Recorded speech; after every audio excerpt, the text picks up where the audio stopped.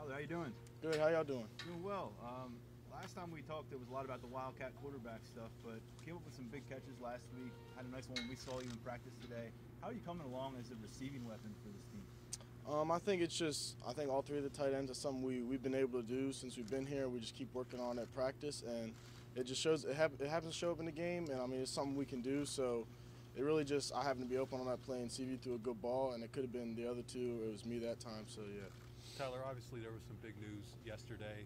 Uh, what was it like when Coach Franklin told you guys about it, and what was the reaction uh, from the players when he, he told you about the Mm, contract? Yeah, he did. He did a good job of, of communicating with us, and he let us know he was he was coming to a deal.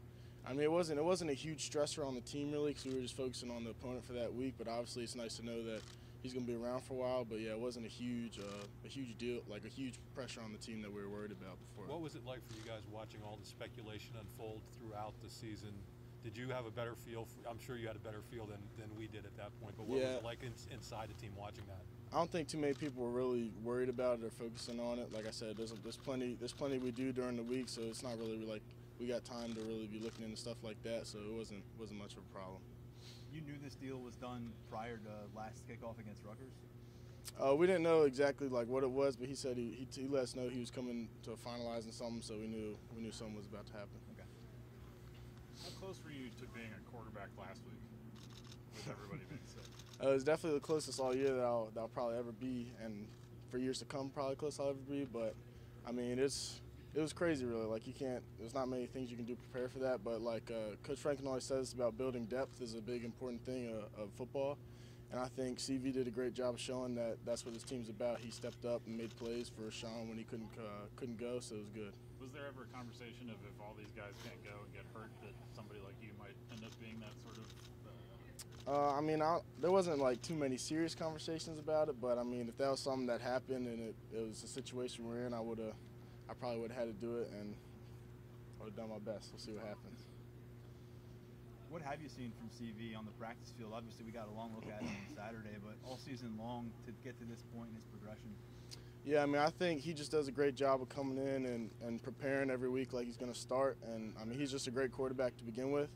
And he works hard, and having Sean help him at practice, who's a, who's a great quarterback, he's been here for a while with experience. I think it's really good for him, and I think that showed up on Saturday. We've heard a lot about the a fit between Clifford being fiery and Yursich being fiery.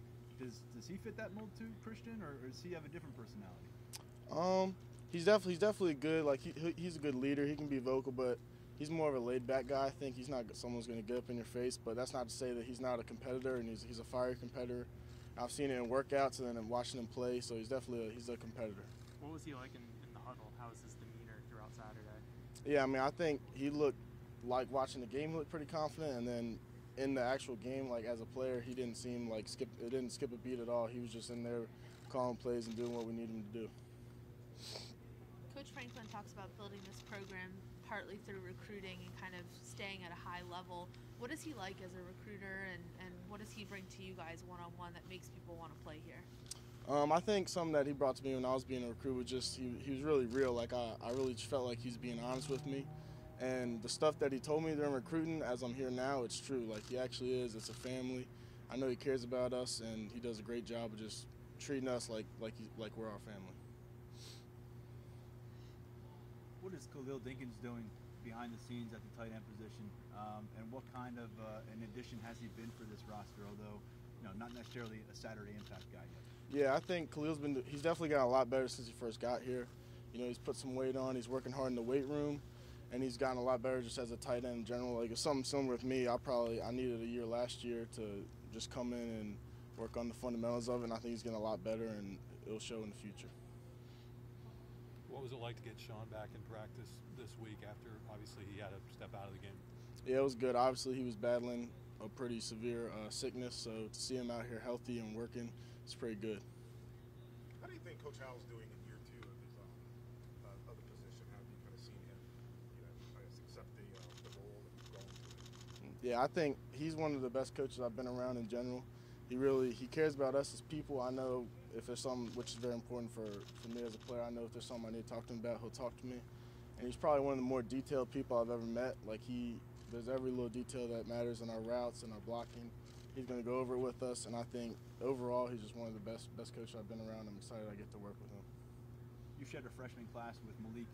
Um, how much has he come along as a skilled receiver versus an athlete since you guys showed up to campus? Yeah, obviously when he first got here, like you said, he's a crazy he's a crazy athlete, just testing wise, and I think this year, the year last year he did a good job of, of honing his craft as a wide receiver and route running and stuff like that. And I think it's starting to show up in games, and I think he'll be he'll be a big weapon. Does he talk trash in French? I mean, yeah, he'll say it's not just trash. He'll just talk in French sometimes, and I don't know what he's saying. Yeah. Any more questions for Tyler? All right. Thanks, Tyler. Thank you, Appreciate. Happy Thanksgiving.